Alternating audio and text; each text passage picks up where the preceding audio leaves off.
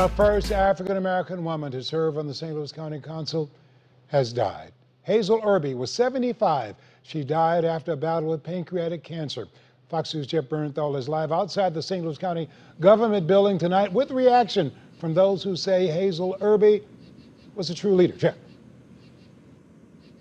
It was 2004, Elliot, when Erby first started serving the 1st District here in St. Louis County. Friends of hers say she was simply passionate about representing North St. Louis County. They say it is that passion that now inspires them to follow her example.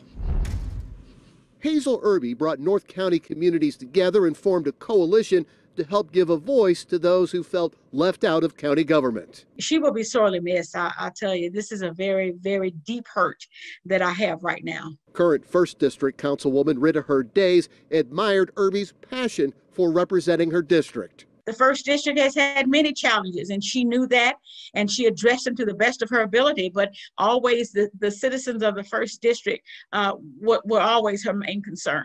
I call her the queen of North County. She was she was so re- well respected.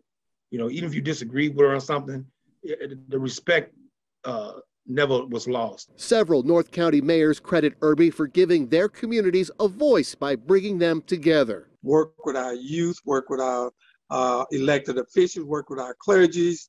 She just worked with everybody. And she always put the other people before herself. She will be sorely missed.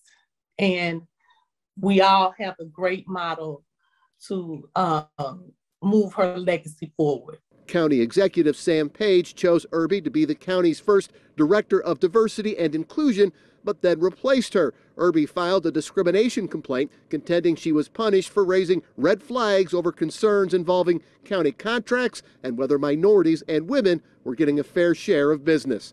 Friends say throughout her entire life, Erby fought for the people she represented. I think that was her strength, uh, being level-headed and uh, you know maintaining your cool, uh, you know through whatever adversities there were. And I, I mean, she even did that through through this diagnosis. I, I just sometimes I marveled at how well she handled that, but she did.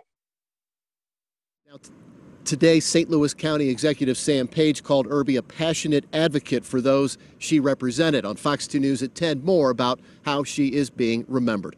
Reporting live from Clayton tonight, Jeff Bernthal, Fox 2 News.